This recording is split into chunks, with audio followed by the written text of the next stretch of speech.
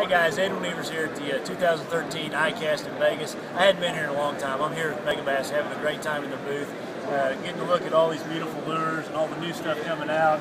It's just a lot of fun talking about all this stuff. But you know, for me, we got two events left, and I wish I had uh, a penny or a quarter or a dollar for every time I've had somebody come up and say, hey, you're going to win Angler of the Year. Hey, you're going to finish this thing out. And, you know, I guess I'm having a hard time answering these questions. Of course, I want to win Angler of the Year, and of course, I want to finish this thing out. But uh, it's been a lot of fun here. Just everybody asking, "Are you going to win it? Are you going to get it done?" And, and all those things. So it's it's, it's been uh, it's been. Uh, I'm ready to just go fishing. That's what it is. It's, I'm ready to.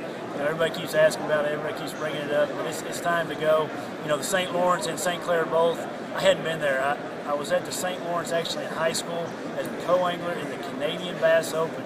I fished with. Uh, I'll never forget it. Ron Lindbergh, one of the craziest days of my life on the water, and uh, had a lot of fun. We fished for largemouth. Probably won't be something we'll be doing uh, this next time up there. And then St. Clair, I fished there the very first time my, my rookie year on the tour. So both venues are going to be really brand new to me, but they're smallmouth fishing. I love it. You know, I, am going to be getting behind my Lowrance electronics and, and uh, seeing what I can do to find all those fish. And I can't wait to get up there and get some cool weather. Uh, I spent a little time here in Vegas, and it was actually 127 degrees out of Death Valley two days ago. Me and my wife sightseeing and had a great time out there, but I've never been in 127 degree weather other than a sauna, you know, with my wife, but I don't want to do that again. It, it was a lot of fun. We're having fun out here, and uh, wish everybody could be here.